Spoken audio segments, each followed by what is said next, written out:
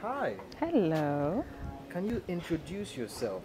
What's your name? Hi, I'm Natasha. Awesome, awesome, Natasha. I'm Andrew from Media and Marketing, and uh, today was quite a big day Yes. on site. Yep. Uh, just have a few questions for you, for our viewers. Okay. Uh, was today your first time visiting the site?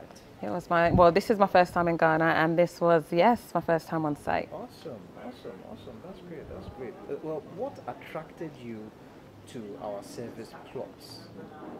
What, what attracted you? Um, well, to be fair, um, it, Kwabena came through um, a mutual connection, so he's someone that I know, but it just felt like the right thing to do. I've never been to Ghana, so this is, like I said, my first time, but I've heard so much about it, and I really wanted to be a part of the movement. Awesome, awesome, awesome. Uh, how would you describe your overall experience from visiting the site, not just Ghana, but then the site today? It's hard to put into words, to be fair. I think when you're looking at the imagery and things that you see on Instagram and having you know conversations with Kwabena, that's one thing. But when you come and you see the vast amount of work that's been done, not just by him but by everybody in the Asarci team, he's done an amazing job. And I'm, like I said, I'm just really glad to be a part of it. Awesome, awesome, awesome. We were glad to have you today. Thank you. Yeah.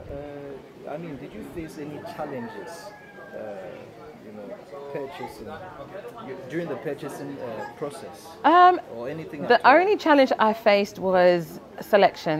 So knowing or trying to decide on how many, what size, where. But I think I'm really glad. I feel like I was called to the plot that I have, and yeah, I think I made a great decision. I think the challenge now is, what do I do now? Do I want more? Can I afford more? But I'll try. Awesome, awesome. That's great. I like your response because, I mean, most of the time, Yeah. the land calls.